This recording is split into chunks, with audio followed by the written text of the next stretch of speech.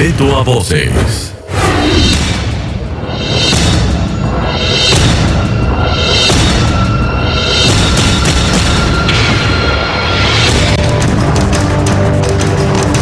Enfurecidos, desesperados y angustiados se encuentran Guzzi e Indio. Es que están en medio de una grave polémica, pues su imagen aparece promocionando un casting masivo para realizar una película pornográfica. Eso es totalmente falso, es un supuesto productor que subió al, a económico del Mercurio. Eh, un aviso donde buscaba chicas entre 20 de 18 a 35 años y hombres también para formar, hacer una película porno. Yo no tengo nada que ver con él. Y lo que más me preocupa es que las chicas vayan a, ese, a esa oficina, departamento, como se llame, lleguen allá y no sé, les pueda pasar algo, ¿cachai? Y el tipo desaparece, la que queda involucrada acá soy yo. No sé, les pueda pasar algo, ¿cachai? Y el tipo desaparece, la que queda involucrada acá soy yo. Yo creía que era alguna broma.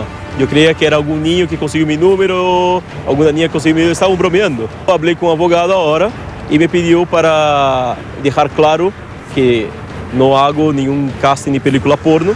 Desmientes todo entonces. Pero por supuesto, y al público que tenga súper claro que yo no estoy haciendo ninguna película porno, a mis alumnos, a mis profes de la universidad, que, que sepan que no estoy haciendo película porno.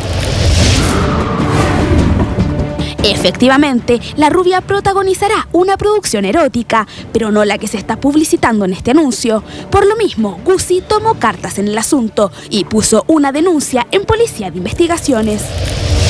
Se entabló una, una denuncia en la Vicrim de San Miguel para obviamente respaldar que yo no tengo nada que ver y que este tipo es un chanta. Porque sí me preocupa que un tipo que no tiene nada que ver conmigo está ocupando mi imagen para citar gente y quizás sepa Dios qué hace porque los correos de él son súper explícitos. Él sepa Dios qué hace porque los correos de él son súper explícitos. Él, pone que es sexo explícito y para que casi se atengan al que se, sepan a lo que van cuando van a la oficina.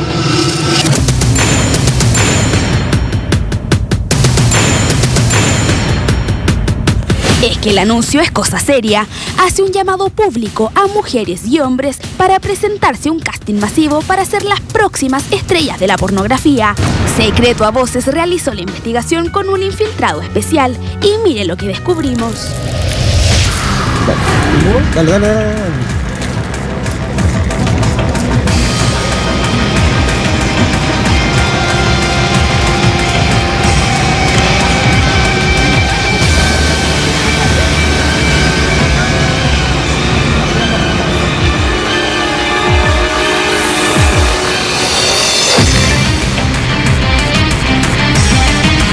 En el edificio esto no, no se está realizando, por lo tanto yo creo que es un anuncio falso o la, dirección está mal dada. Yo no, no sé cuál sería el motivo que eligieron este edificio para, para hacer este anuncio. Pero efectivamente aquí existe alguna productora quizás que... Acá no hay productora eh, de filmación, de Chilefilm sobre todo, no, nada. Me llama la atención de que un anuncio de este tipo masivo no venga nadie, entonces yo no sé qué es lo que, qué es lo que pretendieron hacer con este anuncio. Claro que Guzzi no está sola en esta confusa historia. Indio, es la ex bailarina Che, también figura como uno de los protagonistas de esta cinta pornográfica. El brasileño reacciona molesto con esta grave publicidad engañosa. Yo encuentro raro que traten de involucrar mi imagen con eso. Porque si va a involucrar a alguien o si quiere hacer público algo y utilizar imagen de algún brasileño, al- alguien que bailaba a Che, utilizar la imagen de alguien que está en pantalla, como el Tiago, como el Fabricio, los chicos ahora de Acha Bahía. Pero yo que jamás hago cualquier tipo de entrevista, yo encuentro algo más que nada raro que, que esté hablando de mí. ¿Significa que tú podrías llegar a hacer una acción judicial en contra de los que resulten responsables por haberte involucrado en esto? Pero por supuesto, si es que siguen con el tema y la prensa sigue hablando de eso, tengo que llegar a las últimas consecuencias para... Es un tema de limpiar imagen, porque no me importa lo que hablen de mí, no, no me complique nada. Al parecer, toda una farsa por parte del supuesto productor de filmaciones subidas de tono. Pero como debíamos tener ambas versiones de la historia, nos comunicamos con él. Acá dice que tenéis como a- actriz principal a la Gucci y a Lindo. O sea, ¿habría como escenas como de amor con ellos o algo así? No, no, ellos dos, entre ellos dos es la, el guion principal. ¿Y uno a qué está postulando? ¿Como a personaje secundario? Exactamente, no sé, pues a onda, no sé, me imagino, otros unos baby, otras parejas, a eso. ¿Hay escenas sin ropa? ¿Sí o no? ¿Sí? Sí, pues.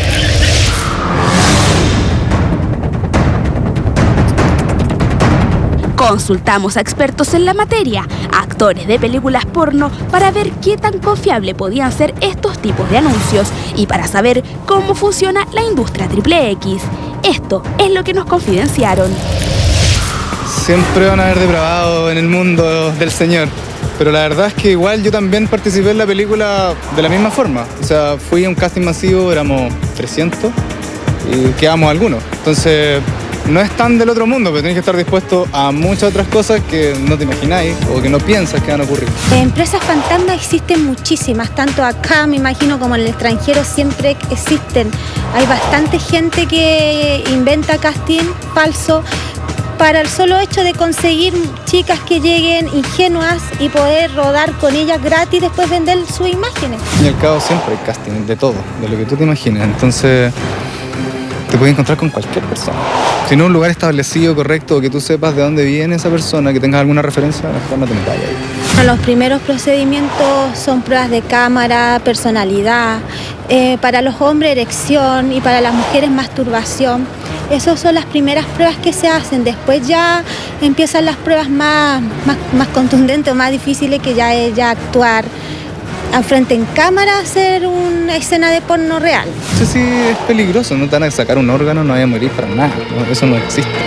Pero sí podéis verte involucrado con más gente que, o que no te gusta simplemente. Últimamente eh, han existido bastantes casos de SIDA. Sí, sí, siempre es peligroso. Tú vas eh, porque quieres buscar una oportunidad en el, en el mundo del porno, pero nadie te asegura que vaya a quedar en la película.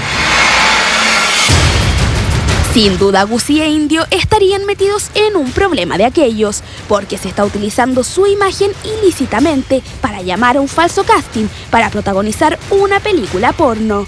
¿En qué terminará todo esto? ¿Tendrá consecuencias graves para el supuesto productor?